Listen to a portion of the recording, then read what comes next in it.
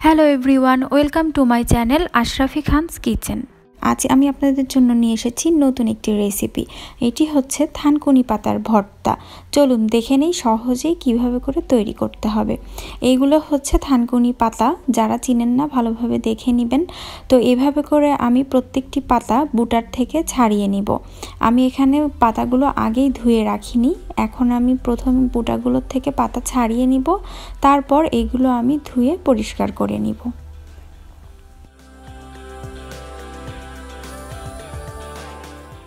তো এই যে এখন আমি পাতাগুলোকে ভালোভাবে ধুয়ে নিয়েছি।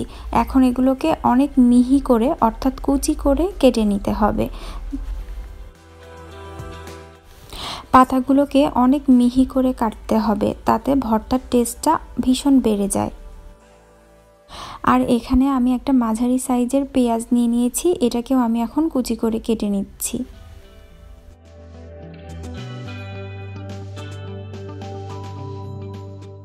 এখানে আমি দুটো শুকনো মরিচ নিয়েছি। আমার কাছে এটা শুকনো মরিচ দিয়েই ভর্তাটা ভালো লাগে।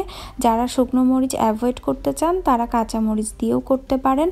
আর ঝালটা স্বাদ মতো নিতে হবে। আর লবণটাও আমি এখানে পরিমাণ মতো নিয়েছি। লবণটা ভালোভাবে মরিচের সাথে ডলে নিয়ে আমি এখানে কেটে রাখা পেঁয়াজগুলো দিয়ে দিচ্ছি। এটাকেও আমি এই মরিচ লবণের সাথে ভালোভাবে মিক্সড করে নিব। যতক্ষণ না পর্যন্ত পেঁয়াজ থেকে পানি বের হচ্ছে। অর্থাৎ যতক্ষণ না পেঁয়াজটা নরম হয়ে আসছে। এখন আমার পেঁয়াজটা হয়ে গিয়েছে, এখন আমি এখানে এক চা চামচ মতো সরিষার তেল দিয়ে দিলাম।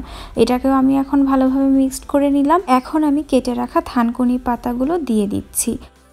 এখন পাতার সাথে পেঁয়াজ, লবণ সব কিছু যেন ভালোভাবে মিশে যায়, এজন্য আমি ভালোভাবে মাখিয়ে নিব।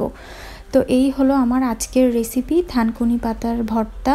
আশা করি রেসিপিটি সবার ভালো লাগবে। এই ভর্তাটি যেমন মজাদার, তেমনি একইভাবে স্বাস্থ্যকর।